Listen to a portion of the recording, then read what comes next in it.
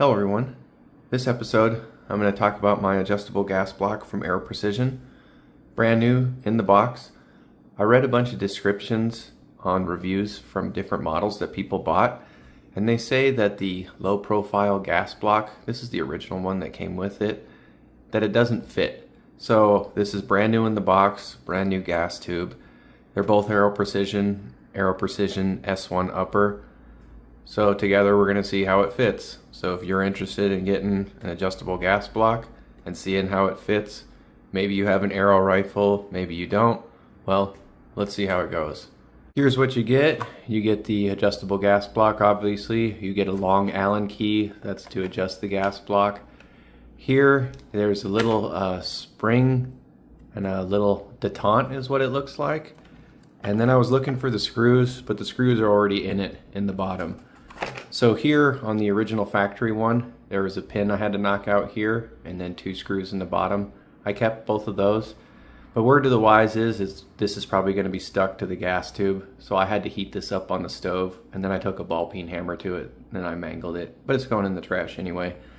But I just wanted to see the difference between the two because some people complained about the size not being low profile.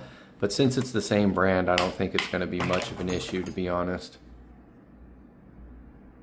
Yeah, it's just that extra little top part where the adjustable gas tube is. It's the same thing. So sometimes you read reviews and you wonder what it is that people are talking about, and it kind of makes you hesitate. But I bought the Aero brand because it's an Aero rifle, so it should fit, and it was also only $65 whereas the other one I was looking at is 90, the Superlative Arms one. I'll probably get that one next to compare the two, but let's take the upper off and let's install it.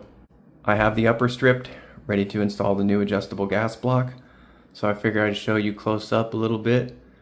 So inside there is a spring and a detente, and these ones that came in the package, these are spares, because you can take this out of here I watched a video on Aero Precision where you undo it and then pull slowly because there's a little button looking thing, which is the detente, and then a spring that will come flying out because it's spring loaded.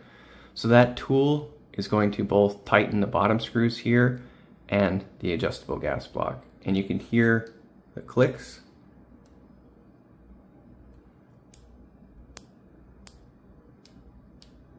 So that's opening and closing the gas port.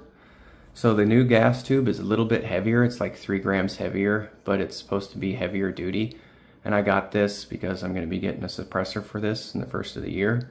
So the big hole of the gas tube goes down and then we're going to have to put that pin that we took out of the previous gas block here and install it and it should be ready to go. So let's give her a test fit.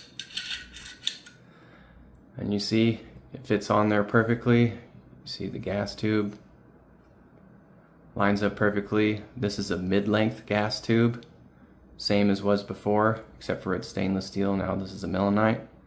So altogether, this was 65 and this was about 20, so about $85 here. Now we're gonna take it to the range and test it out. There is directions here on how to adjust the gas block and for installation instructions. You can also watch the Aero Precision YouTube channel they have the same information. Thanks for watching. Stay tuned for more.